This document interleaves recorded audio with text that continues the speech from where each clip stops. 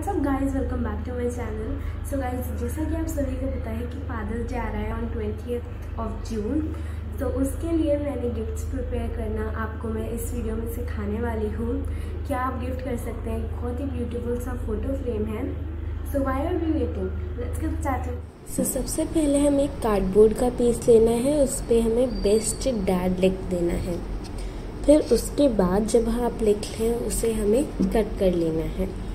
अब हर एक लेटर को हमें रेड एक्लेरिक पेंट से कलर करना है। सिर्फ़ आगे वाली साइड ही करना है, क्योंकि सिर्फ़ आगे वाली साइड ही विजिबल होगी।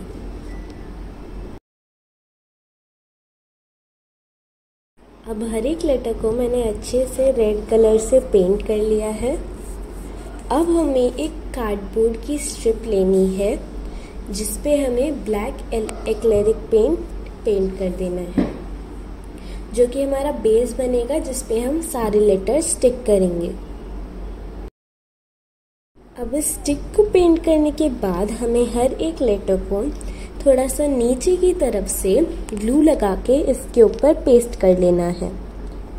हर एक लेटर को अच्छे से ग्लू से स्टिक करना है, या तो आप ग्लू गन भी यूज़ कर सकते हैं। देखिए, अब मैंने सारे लेटर्स को अच्छे से स्टिक कर दिया है। अब हम देखते हैं कि फ़ोटोज़ का फ्रेम कैसे बनाना है। फ़ोटोज़ का फ्रेम बनाने के लिए मैंने यहाँ थ्री स्क्वायर्स कट कर लिए हैं, जिसके बीच में से मैंने एक और स्क्वायर कट किया है। अब इसे भी हमें ब्लैक एक्लेरिक पेंट से कलर कर देना है। आप अपने मन का कलर भी कर सकते हैं, मैं ब्लैक यूज़ कर रही हूँ, क्योंकि वो हमारे थीम के साथ जाएगा।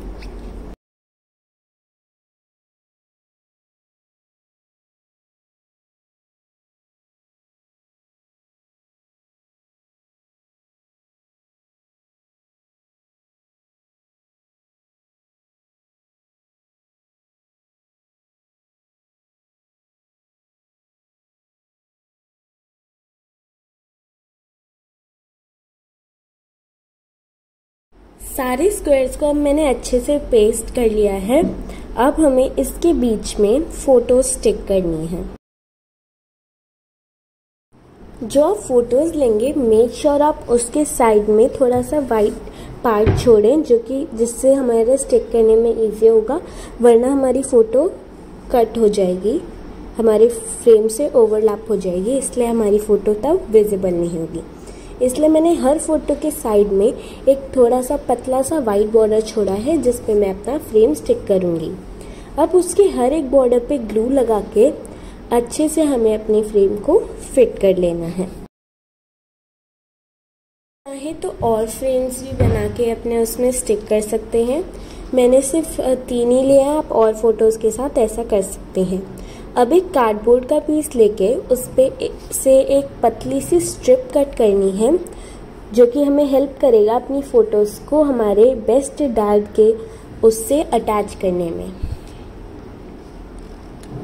देखिए, अब हम उसे पतला सा कट कर लेंगे, फिर उसके बाद हमें उस स्ट्रिप के तीन पार्ट्स कर देने हैं, क्योंकि मेरी तीन फ़ोटोज़ ली थी मैंने, इसलिए मैंने उसके थ्री पार्ट्स किए हैं।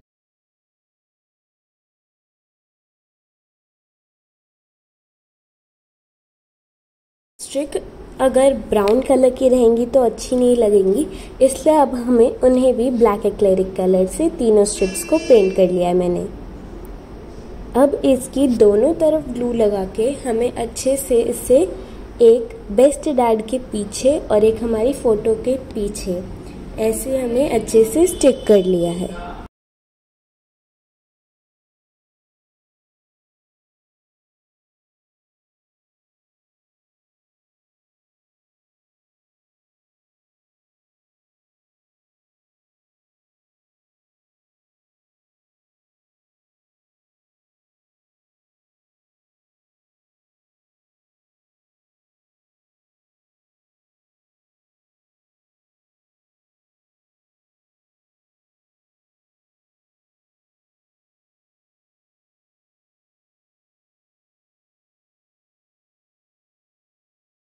ताकि वो अच्छे से स्टिक रहे, मैं उसको टेप से थोड़ा और सेटल कर रही हूँ, ताकि वो हिले ना और ना ही गिरे।